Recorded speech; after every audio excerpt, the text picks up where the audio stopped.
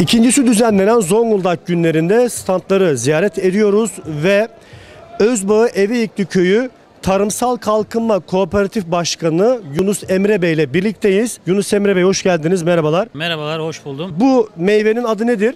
Ee, bu meyvemiz aronya. Zonguldak Devrek'te yetiştiriyoruz. 2019 yılında e, Tarım Orman Bakanlığımızın proje e, destek kapsamında bu ürünü üretimimize aldık. Birinci olarak hücre yenileyici etkisi var ürünün. Bağışıklık sistemini güçlendiriyor. Şekeri dengeleme özelliği var. Karaciğer ve pankreasla alakalı birçok faydası var. Yeni kurduğumuz kooperatifimizin e, içerisinde aronya marmelatımız, aronya reçelimiz, aronya suyumuz, üzümlü olan Selanik gevreğini, bu da üzümsü bir meyve olduğu için Selanik gevreği olarak yaptık.